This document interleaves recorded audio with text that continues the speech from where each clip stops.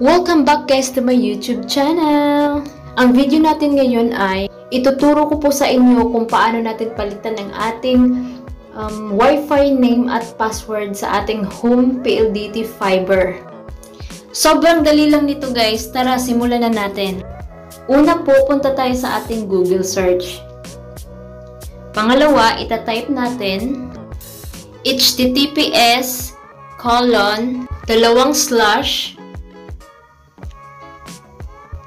192.168.1.1 Then search.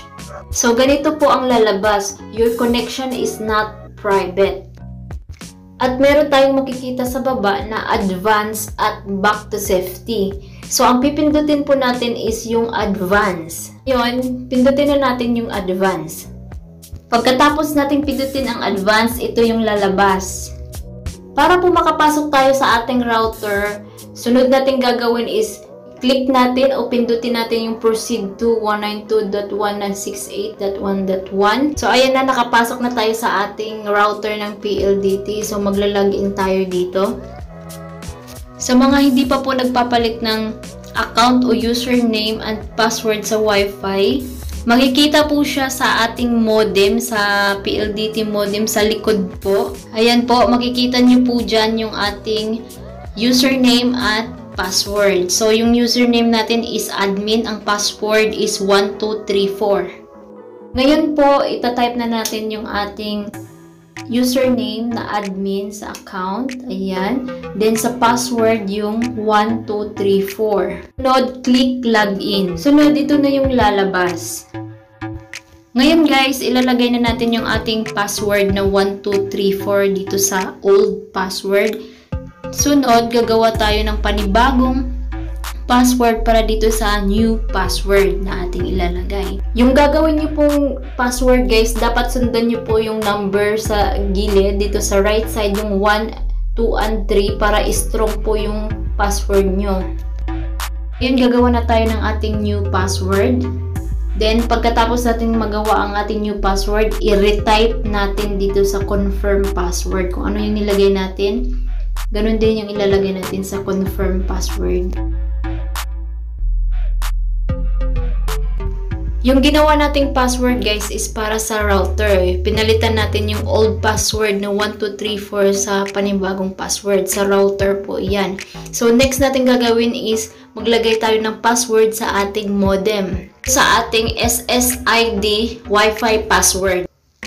Para mas maganda po kung ano yung password mo sa iyong router, so yun din po yung gawin nating password sa ating Wi-Fi password.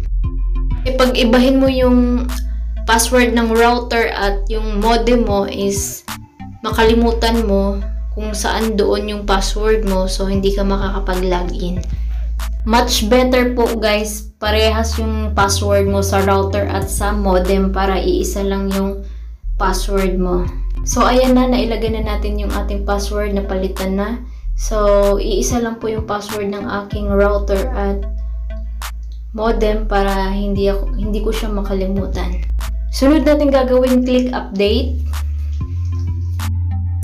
Tapos nyo mapindot yung update. So, ito yung lalabas. So, mawawalan po tayo ng connection. This site can't be reached. So, no internet connection na po tayo. Dahil pinalitan na natin yung ating password. Gagawin po natin is punta po tayo sa ating Wi-Fi settings. Opo, sa Wi-Fi settings natin. So, ayan.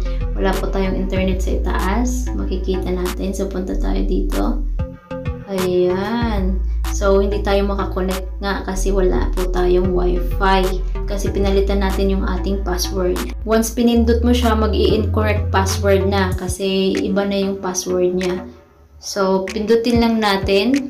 I-forget natin yung Wi-Fi na to para lumabas yung change password. Pag pindot mo siya is magiging incorrect password na siya. So, dito na natin ilalagay yung ating bagong ginawang password.